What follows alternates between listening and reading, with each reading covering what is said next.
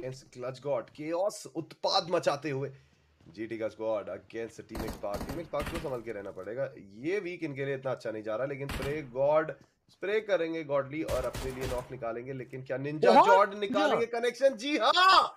Diggle one tap shot विक्स की को आउट कर दिया है। और अभी विक्स की बिल्कुल खुश नहीं होंगे। It's not about that he has been taken down knock किया गया है बट आप देखिए डीगल का शॉट कनेक्ट हुआ है। समय लिया और बड़ा ही प्यारा सा कनेक्शन दिया। गुजरात ने में लिया।